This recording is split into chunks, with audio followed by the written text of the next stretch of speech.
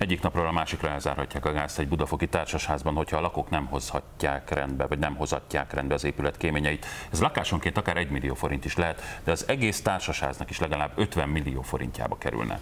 A nem várt kiadásra és renoválásra mindössze két hónapjuk van, hogy ősszel legyen meleg víz és fűtés. A Mokka riportja után ezzel a témával folytatjuk terület nagy részén parapettel fűtenek, tehát igazából a kéményeket nem is érinti a fűtés, mint olyan gyakorlatilag és ennek ellenére kötelezik a házat arra, hogy, hogy itt több millió, több, több tízmilliót finanszírozzon ebbe a dologba. Az egykor szebb napokat látott kaszárnyából átalakított Budafoki Társasház már a teljesen lerobbant. A 48 tulajdonos kiki vérmérséklete és ízlése szerint próbálja a saját részét foltozgatni, festegetni és karban tartani, de arra egyikük sem gondolt, hogy egyik pillanatról a másikra a kéményseprők betilthatják a gázzal üzemelő készülékek használatát, mert a ház valamennyi kéménye életveszélyessé vált. Hát ha egyénileg nézzük, akkor ez olyan 1 millió forint körüli költség, hogyha pedig a társasházat teljességében, akkor nyilván ez több 10 millió forint. Tehát lakásonként egy, néhol két kéményt kell felújítani, körülbelül 1-1 millió forintért. Igaz, hogy ebben már egy vadonatúj cirkó is benne van.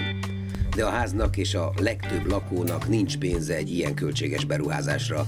A legtöbben most is a klasszikus úgynevezett parapetes konvektorral fűtenek, ahol nem a kéményen, hanem közvetlenül a falon keresztül távozik az égés termék.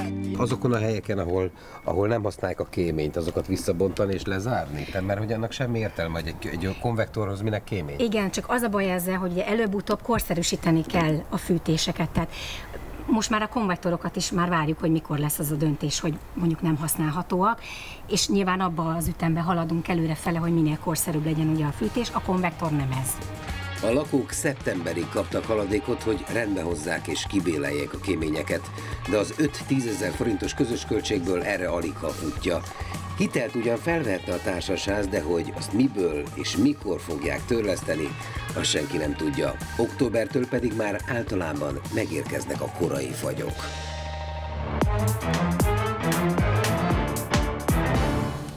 Folytatjuk a témát Müller Mátét, a fővárosi kéményseprőipari Kft. szóvivőjét és Vejsz Gábort, a Magyar Társasház Kft. igazgatóját kérdezzük, hogyan lehet megoldani a lakók problémáját. Jó reggelt! Jó reggelt! Jó reggelt Mi a probléma a lakások fűtésével és a kéményekkel? Legalábbis a riport alapján. Igen. Én rögtön az riport elejére szeretnék reagálni, hogy ahogy váratlanul egyik napról a másikra el lehet záratni a gázt.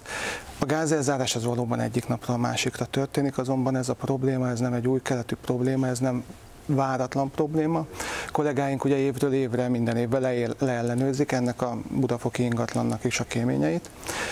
Folyamatosan, az elmúlt években folyamatosan jelezték azokat a problémákat, a jogszabályi előírás rendelkezik arról, hogy milyen, mi számít szabálytalanságnak, elhárítandó szabálytalanságnak. Ezeket évről évre jelezték a kollégák, 15-ben is, 2016-ban is. 16-ban jutott sajnos el egy olyan fázisba, amikor el nem hárított szabálytalanság kategóriába esett, nincs mérlegelési joga sajnos a kéményseprőnek, ezt át kell jelenteni az ilyen kéményeket a felettes hatóságnak, ez a Fővárosi Katasztrófavédelmi Igazgatóság. Nyilván nagyon sok pénzről beszélünk, de mondhatjuk azt, hogy ezek szerint a kollégák, amikor már évekkel ezelőtt is jelezték ezeket a problémákat, és ezek halmozottak, talán akkor még olcsóbban meg lehetett volna úszni a javítást? Erre semmi garancia nincsen. Sajnos nagyon változatosak a, a problémák, nagyon sok hiba típussal találkoztak, akár ebben az ingatlanban is, ezeknél a kéményeknél is a kollégák. Nincs erre garancia, de hát ez mindenképpen látni kell, hogy egy kémény, egy tüzelőberendezés és a hozzá kapcsolódó fűtési rendszer olyan, mint egy autó. Tehát ezt karban kell tartani.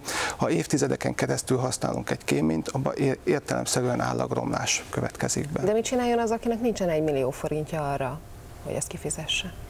Alapvetően az igazi problémát valóban a váratlanság jelenti. Senki nem vitatja azt, hogy ezeket a berendezéseket karban kell tartani, azt se vitatjuk, vagy vitatja senki ebben a, ezekben a társasházakban, hogy ezek veszélyesek lennének adott esetben, de a probléma az az, hogy a szabványváltozások, amik azért voltak, ugye, amik egy, egy kéménybérlés szabványt, vagy egy, egy tüzelőberendezés, hogy most akkor nyílt égésterű, zárt égésterű terméket lehet ugye már beépíteni, ezek utána generálják a költségeket egymás után, tehát amikor új tüzelőberendezés építek be, új kéménybérelést kell hozzá kialakítani, és ezek tényleg halmozzák a költségeket. Valóban ilyenkor a tulajdonos közösségnek tényleg csak szinte a hitelre van lehetősége, a hitelhez tud fordulni, viszont annak a finanszírozása nagyon esetőleges tekintettel arra, hogy ma óriási az adóságállomány. Tehát nem minden tulajdonos tudja fölvállalni, mert bankhitele van, az elműnek tartozik, bárkinek, és plusz problémát jelent az, hogy a társasház mindig utolsó a sorban. Tehát egy-egy végrehajtás során